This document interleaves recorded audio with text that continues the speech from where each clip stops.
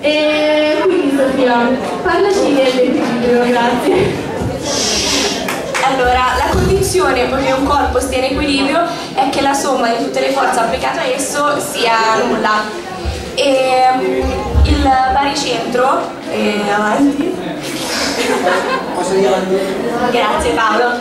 Il baricentro è il punto in cui si può immaginare concentrato tutto il peso di un oggetto.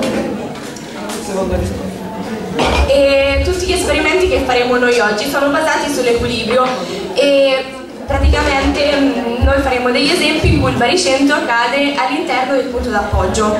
Allora, il primo esperimento lo fa Roberta.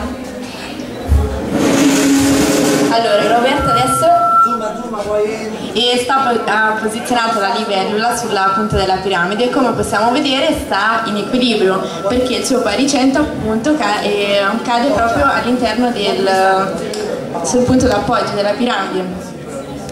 Vedete dove poggia? Questo è lo stesso, questo è lo stesso principio che viene usato anche dal portavino.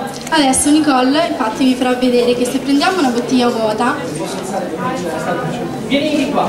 Adesso sta tirare la cassa, Vieni qua, vieni qua, se prendiamo una bottiglia vuota e mettiamo, lo mettiamo nel portavino vediamo che questo cadrà.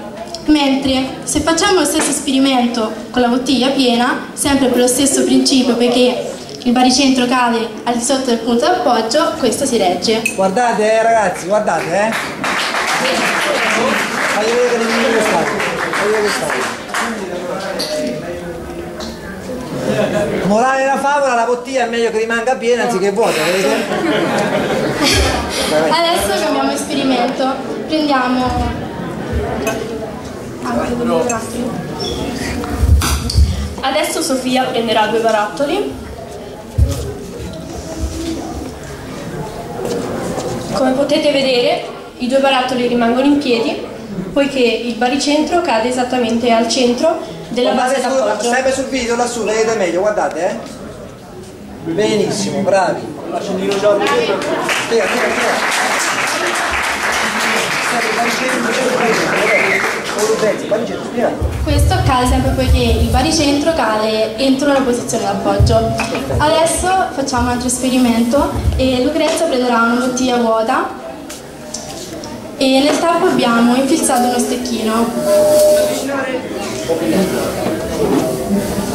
Posizionando eh, le forchette incastrate tra loro e infilando uno stecchino vediamo che questo Perfetto, si tiene in equilibrio. Guardate su al video, eh. puoi girare un attimo Giorgia, fa, passala di fianco.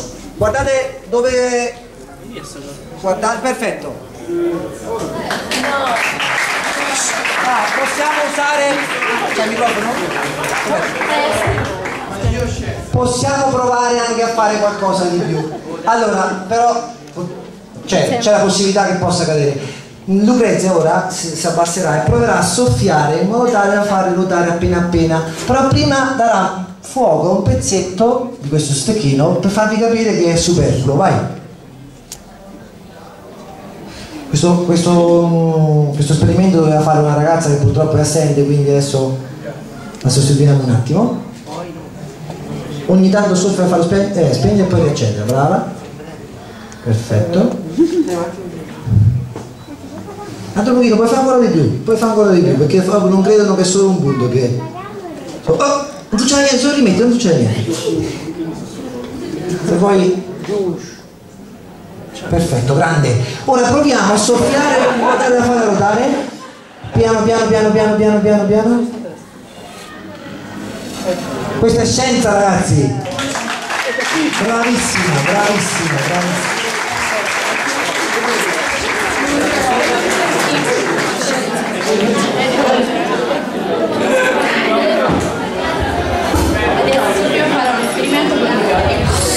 Adesso lei sta posi- posizionando i chiodi in modo alternato. Allora, adesso Sofia sta posizionando i chiodi in modo alternato su un chiodo che fa come base, una base d'appoggio.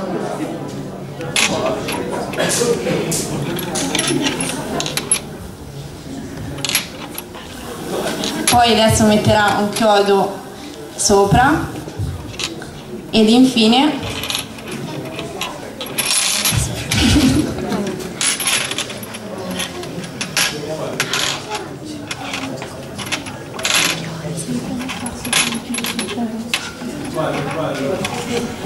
Perché ce la facciamo cioè, è troppo, è troppo vicino, non si ecco perfetto, invece metà più lontano, benissimo.